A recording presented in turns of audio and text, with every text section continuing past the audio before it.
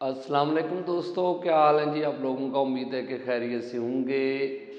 आप दोस्तों को इन्फॉर्म करना है कि कुछ सीट्स आ चुकी हैं पीपीएससी के अंदर। काफ़ी सारे डिपार्टमेंट्स में आई हैं, लेकिन जो ज़्यादा आपके रेलिवेंट है, वो इंटेलिजेंस ऑफिसर की है उसमें एज भी काफ़ी सारी दी गई है। कुछ दोस्त, क्योंकि वो परेशान थे कि हम ओवर एज हो गए हैं जी तो मेरे, हमारा तो अब मतलब है कि फ्यूचर जो है वो डार्क हो गया जी। लेकिन बड़ी अच्छी अपॉर्चुनिटी है दोस्तों के लिए, क्योंकि अब एक ऐसी जॉब आई है जिसमें 40 साल तक का जो बंदा है वो भी अप्लाई कर सकता है जी। तो इंटेलिजेंस ऑफिसर आप देखिएगा कि उसकी पोस्ट है और पोस्ट भी रीज़नेबल है, ठीक है ना? 43 पोस्ट हैं जी ओवरऑल जो है, और बी एस फोर्टीन की है, और आगे जाके ये बी एस जो है वो जल्दी प्रमोशन इनकी मतलब है कि हो जाएगी जी मतलब आगे सेवनटीन तक जा सकते हैं। तो इसमें आपने याद रखना है कि इंटेलिजेंस ऑफिसर की ना सबसे पहले बता दूँ कि टोटल सीट्स इतनी हैं और ये हैं सारी पंजाब की जी। इसमें तीन जो है ना, वो माजूर लोग जो हैं स्पेशल पर्सन जो हैं, उनके लिए तीन सीटें रखी गई हैं और मिनारिटी के लिए दो सीटें रखी गई हैं और पंद्रह सीट्स जो है ना, ये वीमेंस के लिए हैं। मतलब ओवरऑल जो है, आप ये कर सकते हैं कि 20 सीटें जो हैं, वो निकल जाएँगी जी। 23 सीट्स जो हैं, वो ओपन मेरिट मेल के लिए रह जाएँगी जी। तो इसका दो साल का कंट्रैक्ट है, लेकिन आगे ये परमानेंट हो जाएँगे जी। और एज बहुत ज़्यादा दी गई है, इसमें आप देखिएगा कि 21 से 35 साल दी गई है जनरल और उसमें पाँच साल की जनरल एक्सेशन तो 40 साल मेल के लिए है। और 21 से 35 साल का जो है वो फीमेल के लिए भी वही है लेकिन 8 साल के लिए वो यहाँ पे दी गई है तो 43 ईयर इनकी है जी। डोमिसाइल पूरे पंजाब में से किसी एरिए का भी हो सकता है जी। वो इशू नहीं है। वो आपने मतलब है कि पूरे पंजाब का डोमिसाइल जो है वो वैलिड होगा जी।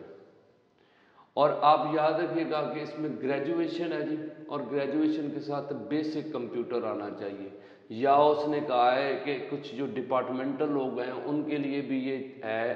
बेसिकली इसमें आर डाला गया कि ग्रेजुएशन के साथ फाइव ईयर एक्सपीरियंस होना चाहिए।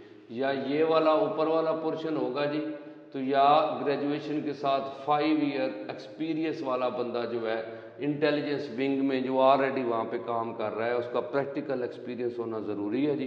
तो वो बंदा अप्लाई कर सकता है। तो अब ये देखिएगा कि इसका जो पेपर है ना, वो 80 परसेंट जनरल नॉलेज बेस्ड है जी।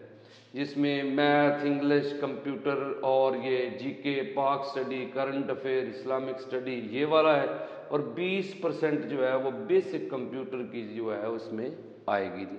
तो अच्छी अपॉर्चुनिटी है जी और दोस्त जो मतलब है पहले जिनको मतलब है कि जो नॉलेज है इस, इस जॉब का वो तो ऑलरेडी अप्लाई कर रहे होंगे। जो नहीं था तो मैंने सोचा कि चलो मैं भी अपना हक अदा कर दूँ आप दोस्तों को, बता दूँ। और मज़ीद जो है कि जो लोग प्रिपरेशन करना चाहते हैं, जो प्रॉपर तैयार करना चाहते हैं, क्योंकि विदाउट प्रिपरेशन तो मुश्किल हो जाएगा, क्योंकि कंपटीशन बहुत ज़्यादा है। तो उनके लिए मैं अपना नंबर छोड़े जा रहा हूँ। ये zero three zero six seven five six two three five six इस पे आप रबता करके व्हाट्सएप करके मज़ीद जो है वो चीज़ें पूछ भी सकते हैं।